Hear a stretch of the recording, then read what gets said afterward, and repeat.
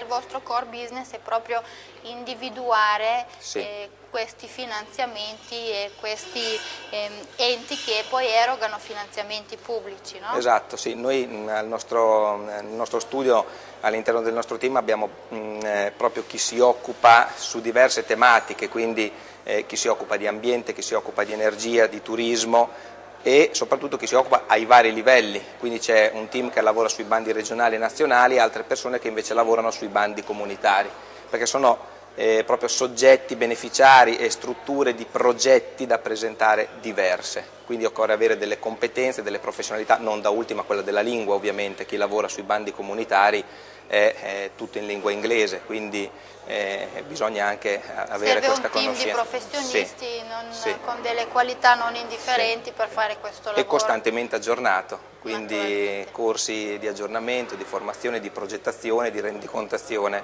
dei progetti. Ecco, io vorrei tornare un attimo proprio ai progetti. Eh, Ok. Perché tanti, io penso che tanti di noi almeno una volta si sono chiesti no, come funziona, come- quali sono eh, diciamo così, le linee guida principali per poter accedere a uno di questi finanziamenti. La prima cosa naturalmente è il progetto. Sì, Eh, diciamo che noi lavoriamo in questa maniera che penso sia un po' quella standard.